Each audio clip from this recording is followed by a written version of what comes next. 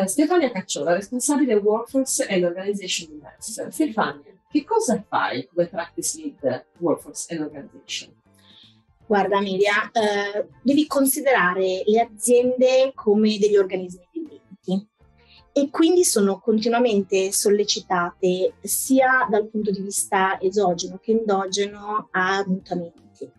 Quello che facciamo per i nostri clienti è intercettare queste sollecitazioni, analizzarle e poi interpretarle per aiutare i clienti insieme a eh, disegnare, a creare eh, loro, il loro percorso evolutivo. Parliamo quindi di modelli organizzativi, parliamo di modelli operativi, parliamo però anche di capability e di processi, quindi più in termini di funzionamento delle aziende.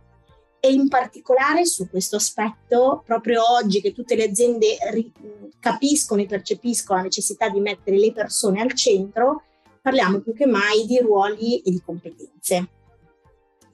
Eh, grazie alle analisi del, dello Strategic Workforce Planning eh, riusciamo a fotografare eh, che la, le, quelle che sono le criticità e le urgenze de, che hanno le aziende in termini di ruoli e di competenze e soprattutto grazie agli strumenti eh, e alle informazioni e benchmark che ha Mercer possiamo dare una chiara fotografia del futuro non c'è mai stato come oggi una grande attenzione, un faro puntato su questa funzione per una questione eh, di priorità aziendali.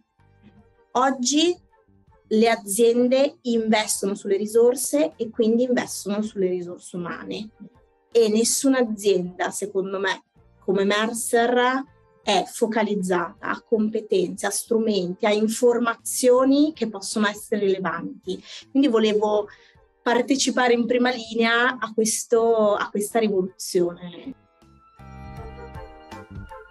Stefania, nel tuo tempo libero, quali sono le tue passioni e i tuoi hobby?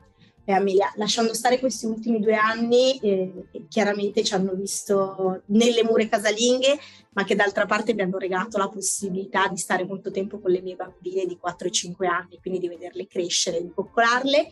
La mia grande passione è quella dei viaggi.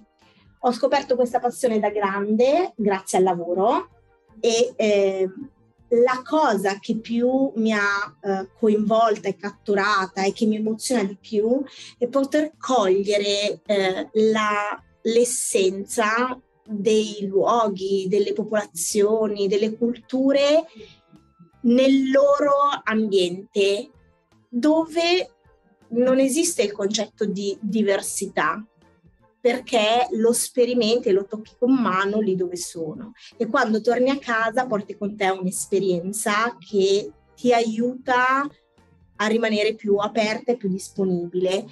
E non vedo l'ora di farlo con le mie bambine in modo da regalare anche a loro questa emozione.